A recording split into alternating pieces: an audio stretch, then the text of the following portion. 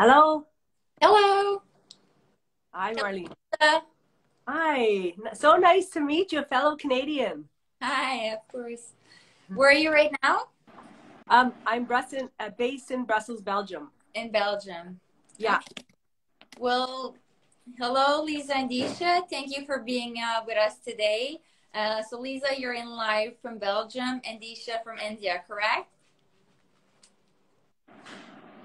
Yes, correct. Perfect.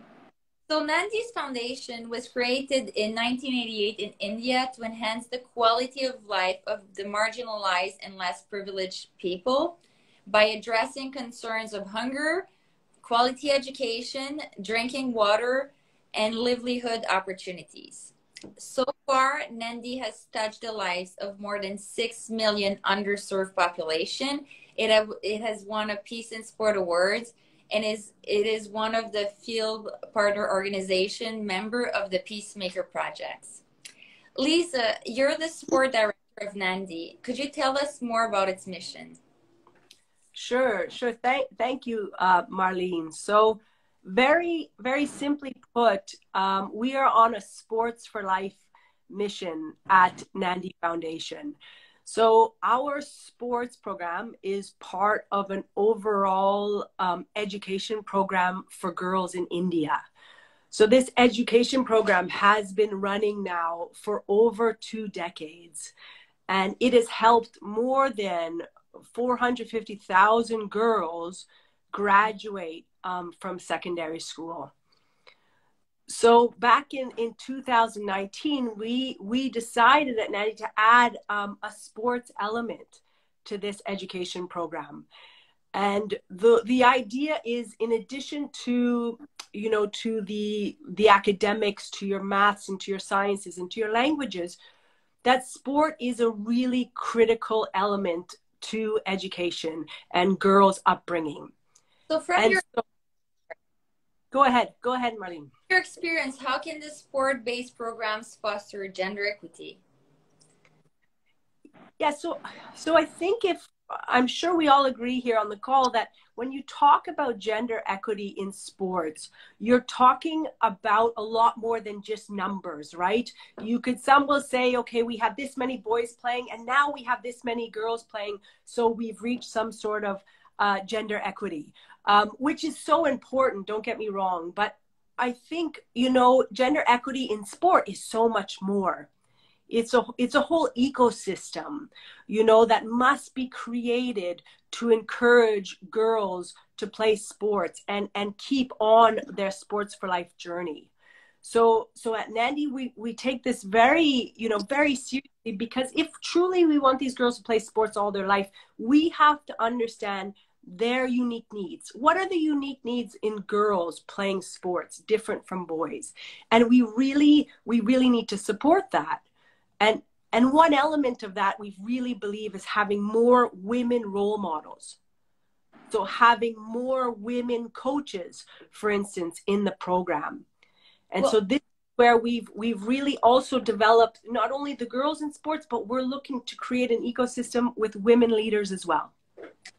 Disha, you're the coach of the Game Changers program. How can female coaches contribute to the empowering girls and women in India, and especially in rural areas? Right. I think um, just the fact that they are female, I think that makes a huge different difference in itself. So when um, female like girls of age 8 9 10 11 or even older or younger than that when they see a female coach on the field that in itself is a huge motivation for them to play the sport. Because there are times like football is not a very popular sport in india but it is definitely catching on. So if in men it's not that popular like think about women right? So there are times when women don't even know that this sport is an option for them right? But when they see like a woman football coach and i'm sure like the coach has played at certain level so they feel that oh yes i can do it too.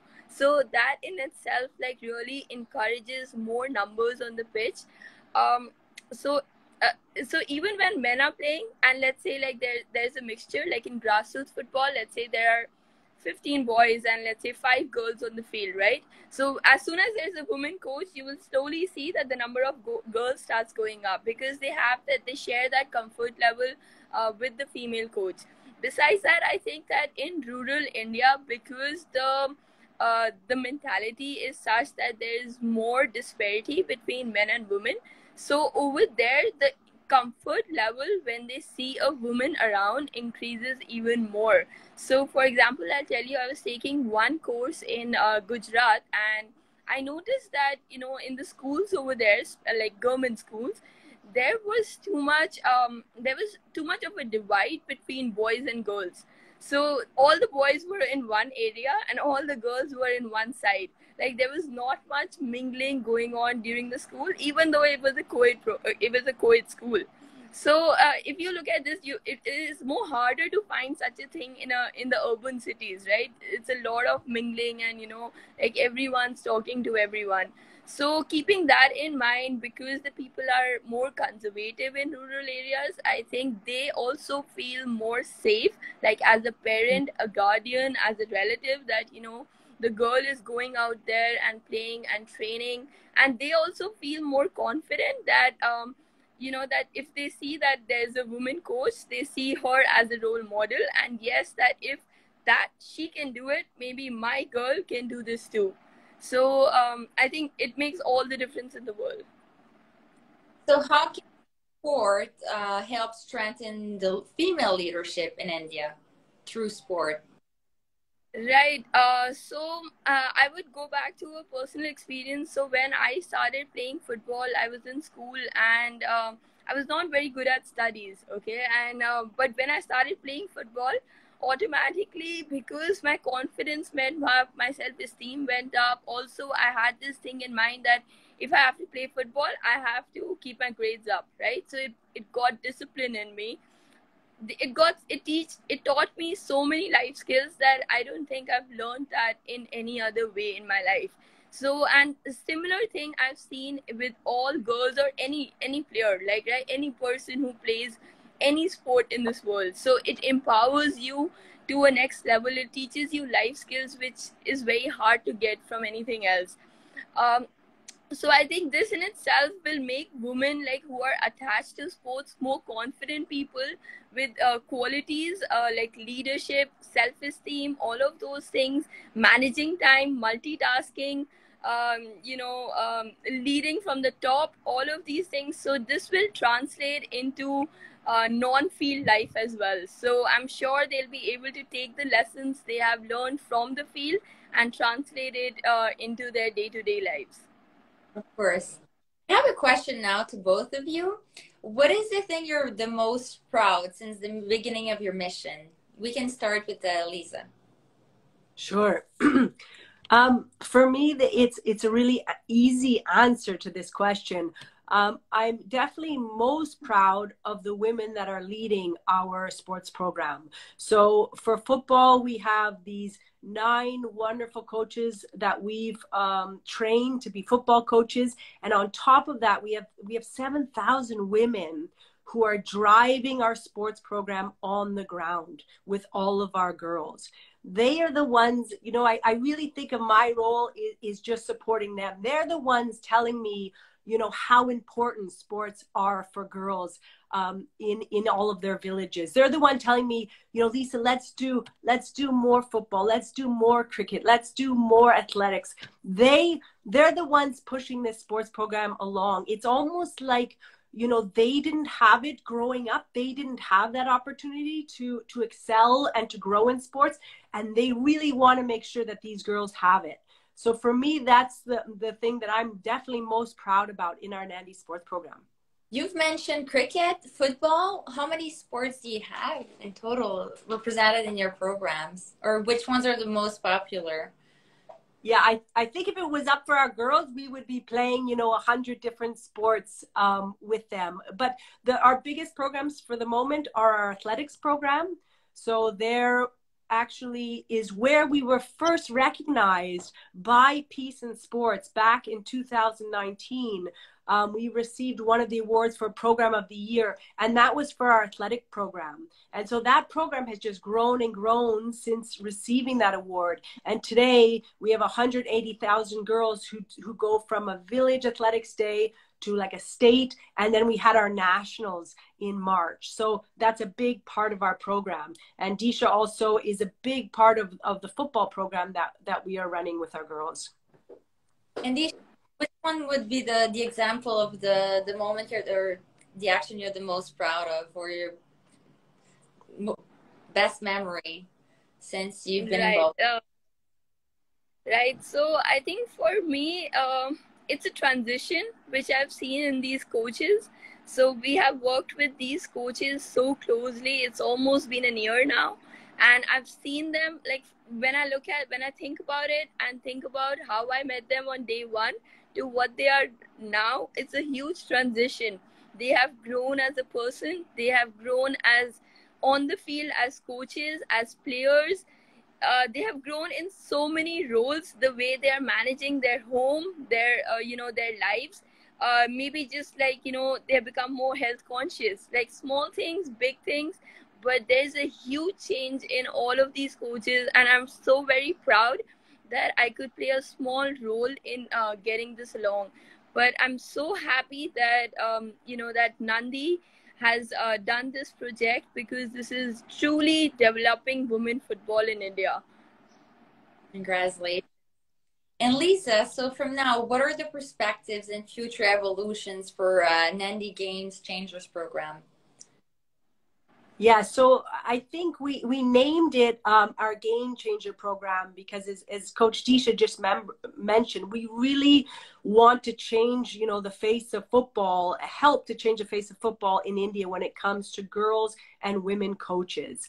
Um, but we know that's that's not going to happen overnight you know that we are just kind of starting on this this journey if we really want to be game changers we know we're invested in this for years to come. So the coaches who graduated from our program now are coming back into our program and are, they'll be our, our football coaches. Plus, we're already working on our next cohort of women coaches in training in another location in India. So if it was up to us, I think we'd have one, you know, women's football coach in each of the 6,000 villages that, that we work in. So that, that maybe could be our long-term goal. Wow, 6,000 villages. Wow. Yeah. So I'm not quite familiar with India, so I would assume it's you're present in every region, uh, national wide, or you, you cover specific regions. How does it? Uh, what is the implementation on a national level like? So if we talk about our, our, whole sports program, we're in nine different states um, in India, really um, spread all over all over the map. So you could just imagine kind of the diversity in the girls and the women that are part of our program. Um, you know, India, from one corner, from the north to the south, you're talking about very different culture when it comes to food, when it comes to dress, when it comes to traditions, you know. So so sport is is so beautiful to bring all these this diversity all these differences together and this community is really connected to it. So so it's such a it's such a really nice element of of our sports program. Okay amazing. Is there anything you'd like to uh to share? Other um projects memories um stories? Disha would you like to go ahead I have mine. Yeah, sure. sure.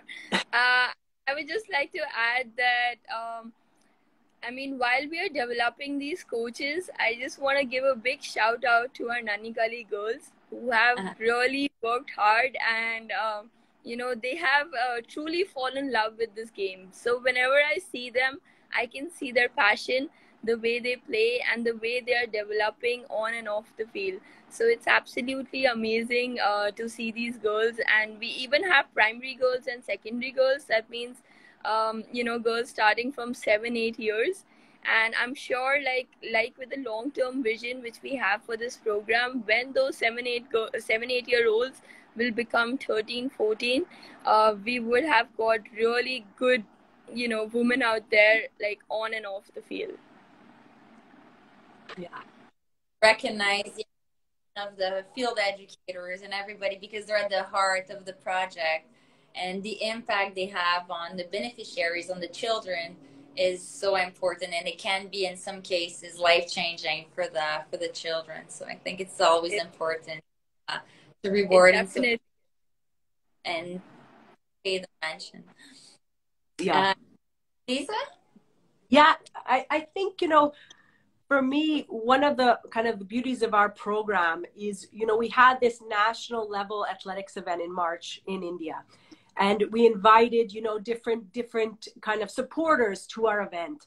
And, and i would watch them as, as they kind of entered the stadium where we were having their our athletics. And and what you saw you know for me i think i take for granted working in the program for so long. But when i when i get their reaction the fact that they walk into a stadium where not only are there hundreds of girls doing sports but everything everything around them is is woman driven right? So you're walking into a stadium and you're seeing women as starter officials. You're seeing women doing the timekeeping. You're seeing them doing the results being in charge of nutrition being in charge of hydration. It's just we have hundreds of women who who who make this happen you know? So i think for me this is one of the beauties of our program is to see you know this combination of the girls enjoying sport and the women so enjoying it. All you could say is when you walk in is fun. You know you can't you, you look at the faces of the girls you look at the faces of the women and they're enjoying themselves. And we all know how important fun is to sports and sometimes that's forgotten in our in our sports journeys. So so this is i think what's what's so special about about our program Wow, and it's so impressive that it, it's reached this level of success. It makes me wonder what were the most uh, challenging uh, barriers you had to overcome to uh, to make it so successful in the implementation programs. Shall, shall I go ahead, Disha, or would you like to start? Yeah, yeah, go ahead, go ahead. I think, you know, for Disha and I starting our first Game Changer program, I think, you know, we didn't realize what it would be like to train a woman to be a coach who really had never been exposed to sports before. Oh. It's not it's not like they've grown up watching football or they've grown up playing football and now they want to be a coach.